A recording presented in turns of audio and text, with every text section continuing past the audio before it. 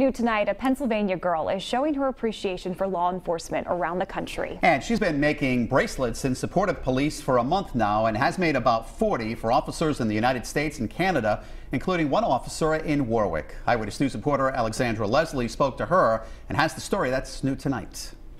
Seven-year-old Kaylee Byers is from Palmyra, Pennsylvania, but she's connected to dozens of members of law enforcement from across the country, including right here in Rhode Island.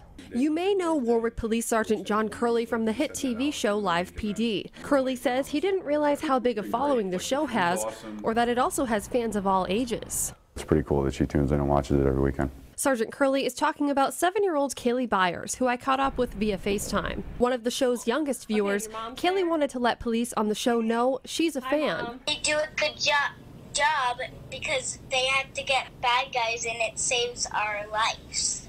and there's a way she shows them her support. For about a month, Kaylee has been making these blue and black loom bracelets.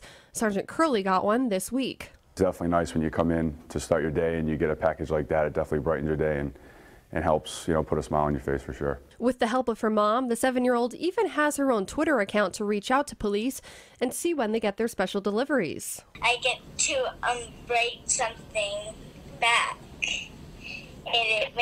And it makes me feel happy that they got it. Sergeant Curley says he speaks for his fellow officers when he says the support is appreciated. Especially with the current climate, I think it's great that children at a young age are supporting law enforcement because right now we could use all the help that we could get. While Kaylee says she's pretty sure she wants to become a vet one day, she also tells me she's not ruling out becoming a police officer either. Reporting in the control room, I'm Alexandra Leslie, Eyewitness News.